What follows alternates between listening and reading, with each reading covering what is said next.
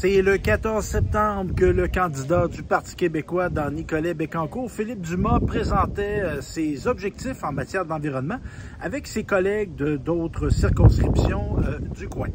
Euh, point de presse ce matin en, en environnement, portant principalement sur la qualité de l'air.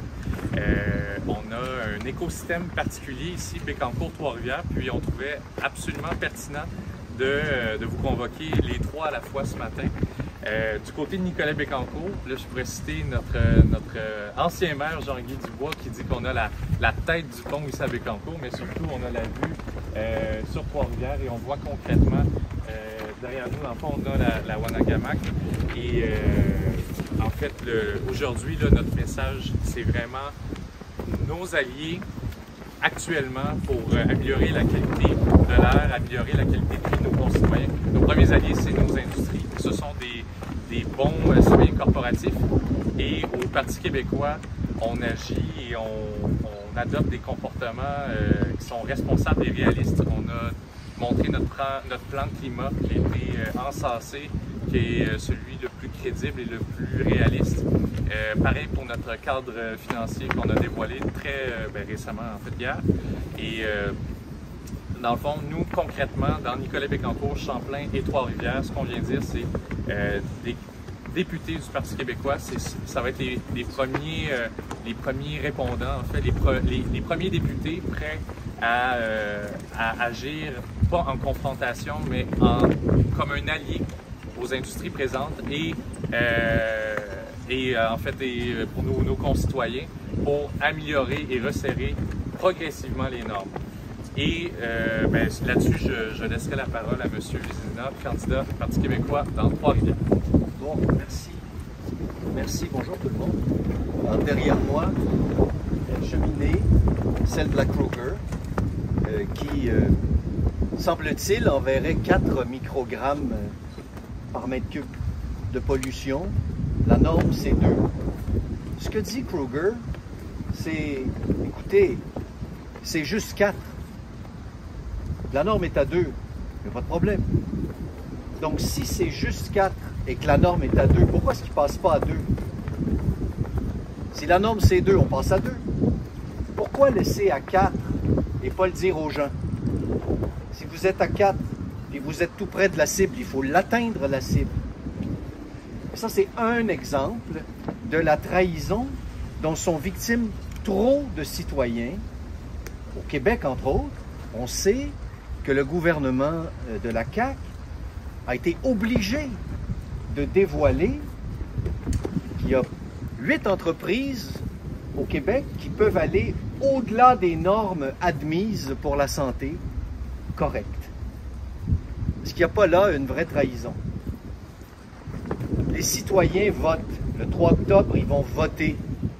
Ils mettent leur confiance dans les institutions.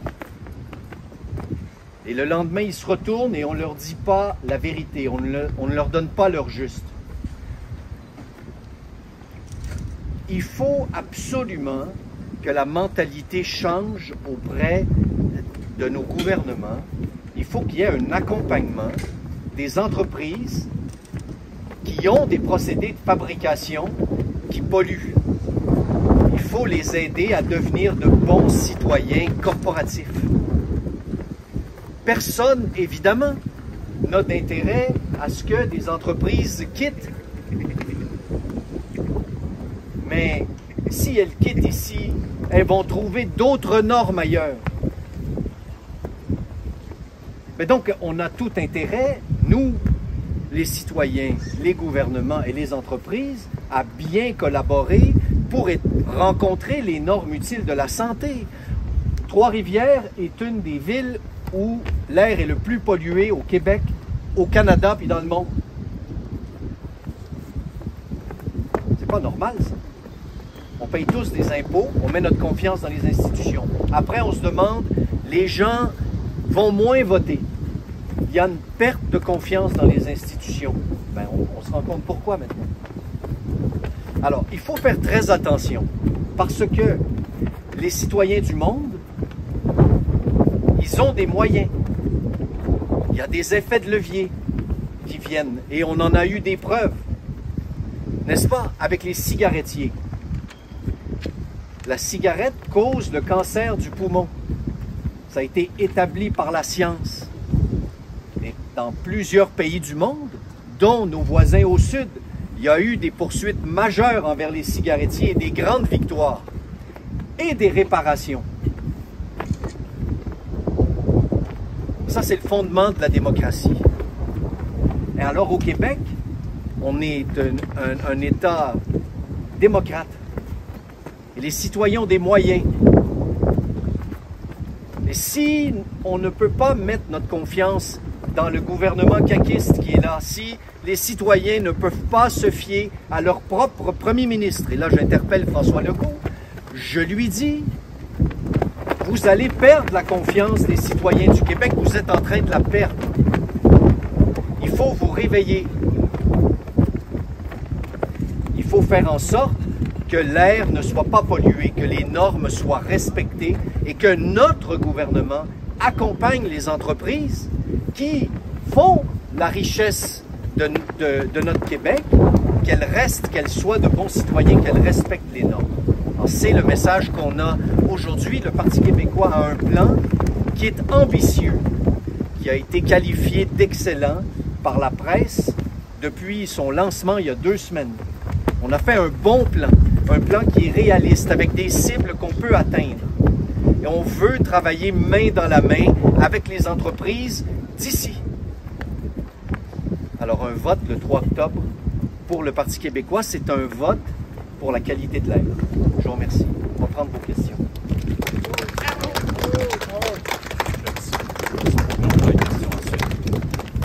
Et pour ma part, je reviens. Euh, Monsieur Vizina parlait de confiance avec le gouvernement actuel. Puis euh, ici, précisément, dans Nicolet Bécancourt, on s'apprête à accueillir le plus grand projet industriel des 30, 40, 50 dernières années au Québec euh, avec la filière de la batterie. Puis ce lien de confiance-là est vraiment important. Euh, et quand on, dit que le gouvernement doit regagner la confiance des citoyens, ben c'est, euh, on a un plan climat ambitieux au Parti québécois, mais on, dispose déjà d'outils importants euh, et en fait d'outils qui sont déjà adoptés au Parlement afin de faire respecter et d'améliorer nos normes en termes de qualité de l'air. Et ce matin, je vais vous en souligner une je pense, va, va, trouver beaucoup écho dans ce qu'on s'apprête à vivre comme développement industriel à Bécancourt. On a en 1993 le programme de réduction des rejets industriels savez, il y a trois semaines, les 89 entreprises qu'on est, on est venu carrément, que les médias sont venus carrément pointer en disant bon, ben, ces entreprises-là ont des attestations de polluer davantage. Toutefois, elles ont la responsabilité d'améliorer leurs pratiques et leurs résultats dans les cinq prochaines années. D'attestation en attestation, c'est comme ça qu'on accompagne ces 89 entreprises-là. Ce qui est passé un peu sous le radar, c'est que ces 89 entreprises-là sont issues de uniquement deux secteurs des cinq visés par le ministère de l'Environnement. Et puis ça, on remonte justement en, 95, en 93 pardon, avec la mise en place de ce programme-là. Le ministère de l'Environnement a débuté par le premier secteur des pâtes et papiers en 93, puis en 2002 avec le secteur de l'industrie minérale. Donc, ça, fait directement lien avec les entreprises qu'on a entendu euh, les noms euh, il y a quelques semaines, qu'on connaît très bien même sur notre territoire. Mais au Parti québécois, on pense qu'on doit aller jusqu'au bout de ça. Ce sont des lois et des règlements qui ont été mis en place par, en premier, le gouvernement Lévesque et après ça par d'autres gouvernements.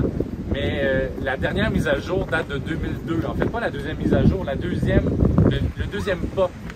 Puis là, aujourd'hui, en 2022, ben, c'est plus qu'important de considérer les trois autres secteurs de l'industrie qui, actuellement, ne reçoivent pas ce genre d'attestation et d'accompagnement-là. Donc, les trois autres secteurs, je vous les nomme. Le secteur de l'industrie de la chimie organique et la chimie inorganique. Chez nous, à Nicolet-Bécancourt, avec ce qui s'en vient, avec les celluliers, ça fait directement écho à ça. Donc, euh, ce serait important de s'y intéresser. Le secteur de la transformation du métal, donc après la première transformation, celle, la deuxième transformation des métaux, et Et ensuite, l'industrie euh, de l'agroalimentaire, de la transformation du bois et des textiles. Bien, ça, c'est des milieux où on est déjà assez euh, proactif, mais euh, n'en demeure pas moins que le ministère de l'Environnement, pour l'instant, n'applique ces, ces attestations-là uniquement aux deux premiers secteurs. Donc, pour terminer sur une note de confiance, c'est justement ça qu'on a besoin, Nicolas Bécancourt. On a besoin d'un député qui va, qui ne sera pas promoteur du gouvernement. Ici, il faut y aller. En fait, je veux même pas qu'on pense que la SMIB, la Société du parc industriel, fait mal euh, son boulot, absolument pas. Mais c'est important que le seul parc industriel qui appartient à l'État au Québec, c'est le parc industriel de Bécancourt mais c'est sûr que le, député en place ne doit pas uniquement être le promoteur du gouvernement, il doit s'intéresser à ces choses-là qui sont déjà dans nos lois, déjà prévues dans nos règlements. Puis ça serait tout à fait logique de faire un autre pas en avant euh, en environnement à l'aube du plus grand projet industriel du Québec depuis les 30 dernières années. Merci beaucoup.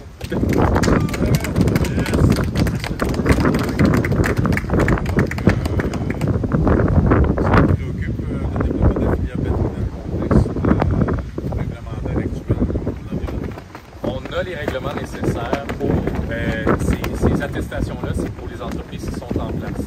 Donc, nécessairement, de faire un pas de plus euh, et de s'intéresser à celle-là, c'est sûr que serait absolument rassurant de le faire. Euh, du côté de la filière, le, danger, en fait, c'est qu'il pourrait être encore plus politisé, ce projet de développement-là. Puis, moi, ma, ma préoccupation, c'est absolument de ne pas faire de concessions exagérées, de ne pas faire de concessions sur, euh, sur la qualité de vie de nos citoyens de la circonscription pour le développement de, ce projet-là. Peut-être euh, votre chef est encore dans la région en casse.